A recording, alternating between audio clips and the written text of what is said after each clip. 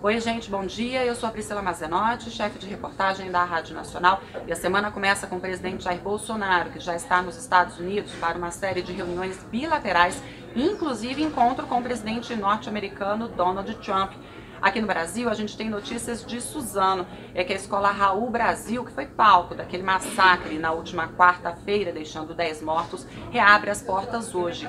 Nesse primeiro momento, para um trabalho de acolhimento e apoio psicológico de familiares, alunos, professores e demais funcionários. No Rio de Janeiro, pelo menos 10 PMs foram assassinados somente neste ano. E aqui em Brasília, o primeiro dia da faixa reversa da EPTG e ameaça de bomba numa escola escola do Plano Piloto.